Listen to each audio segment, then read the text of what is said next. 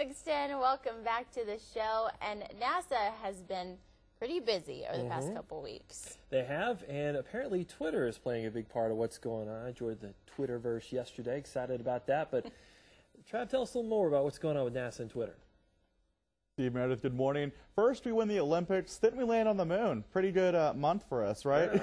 Yeah. Go USA. Yeah, definitely. Of course, if you haven't seen the photos of uh, the, it's called Curiosity on Mars, then you're really missing a lot. This is the machine. It's called Curiosity, and it landed on Mars just last week. You see a picture of it right there on your screen. Looks like WALL-E. yeah, it Oh, does. it does look like WALL-E. Doesn't even look real, does it? No. It seems like just some type of crazy like machine that's you know in the middle of Mars. Yep. But you can see several different photos through, throughout um, right here on the screen that are actually being tweeted back. Yeah, Really? pretty big deal. You know, it's not. A, it's a pretty big deal whenever we can actually in seconds get photos from however long far that is away. I don't even think it's in miles. It's like milli years or something crazy, way far off. Uh, I heard something funny that that uh, the Olympics were broadcast seven hours later, but a picture from Mars got here in a few seconds. So a pretty good uh, comparison there. Nice. Yeah. And as you know, uh, NASA is being underfunded at this time, is what NASA says. Um, their funding is being cut. They get 1% of the national budget. Uh, and people have not been this connected to a NASA project since the Hubble telescope. Huh. You guys remember the Hubble Hubble telescope, right? I do. Yeah, extremely powerful telescope.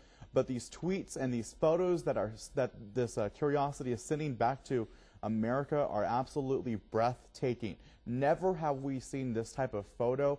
Never have we received this type of information until Curiosity landed on Mars. So certainly America is is getting an emotional bond with this, and it's created a lot of people, you know, wanting more exploration to go on uh, across uh, across uh, NASA to make sure that you know we explore out there. I mean, there could be aliens, there could be any of the, those type of things. My favorite picture that I think I've seen come back is, and NASA has a sense of humor too. Yeah. It's one of the pictures that Right. they got back, and they put The little Martian Marvin in the corner. Martian. Marvin the Martian, in the corner. yeah. Yeah, So those photos are absolutely stunning. We have some of them on our website this morning. Uh, we posted it uh, whenever NASA first landed on Mars about last week or so. Uh, you know, it got uh, about 100 shares, so certainly a pretty big deal. Uh, you know, there's a picture right there that you can see of NASA, the building. It's all headquartered uh, in Florida. There's some in Austin. Certainly, we all know NASA whenever, you know, last year the space shuttle program ended. Uh, so a lot being cut, but Twitter's really making it to where, you know, pictures being from Mars on Twitter, pretty big deal. All right, Travis, thank you so much. So We does appreciate WALL-E have a cell phone and, and it's at Curiosity? He's tweeting us back. How does he get cell phone service on Mars? Man, we I can't, can't even get, get it it part of the panhandle. Borger. That's- Yeah. My phone goes off in Borger. Yeah, they got cell phone service.